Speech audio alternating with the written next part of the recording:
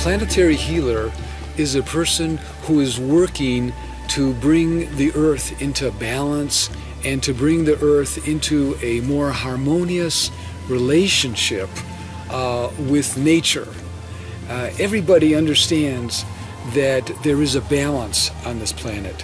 And this balance is a fragile balance because we need a certain level of oxygen, we need a certain level of nitrogen uh, in the air, we need a certain type of temperature, and there are many things that are so critical uh, to the balance of nature that enables us to live comfortably.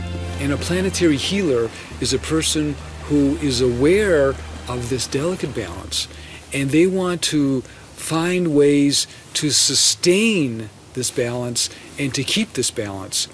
And they understand that the earth is a living spiritual place.